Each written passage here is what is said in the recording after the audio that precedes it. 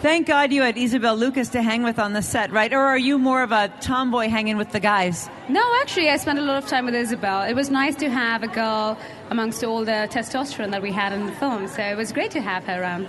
Tell us about your character, Phaedra.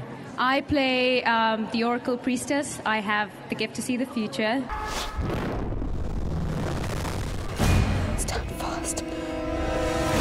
Through one of my visions, I do realize that Theseus is the chosen one to save all mankind from the evil King Hyperion. So, my mission in the film is to make Theseus, which is Henry, believe in his destiny.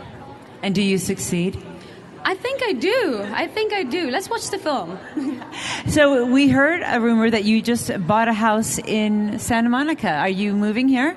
Like I said, rumors are rumors. I always say rumors are. I seriously do not know where that came from. That's actually my stylist's place, and I was visiting her with a big box of clothes, and that was now my 1.5 million dollar home. Thank you very much. Well, congratulations on your purchase and your big movie. Thank you very much. Thank you so much.